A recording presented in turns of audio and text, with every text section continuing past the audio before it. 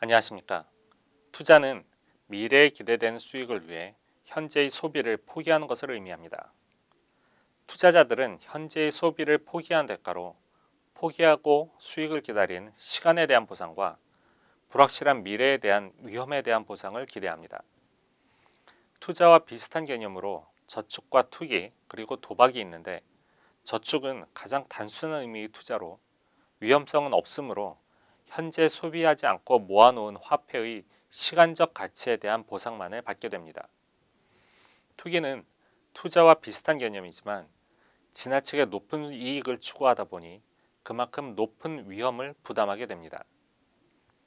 도박은 함적 판단에 의해 위험과 수익의 관계를 따지지 않고 운에 의존하는데 따라서 합리적 수익을 기대하기보다는 위험을 즐기는 행위에 가깝습니다.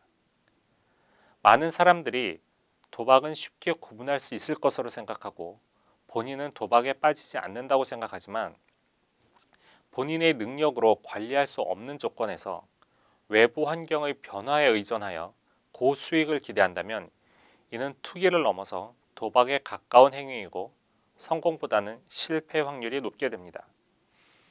부동산 투자가 투기를 넘어 도박이 되지 않도록 신중한 판단이 필요한 이유입니다. 감사합니다.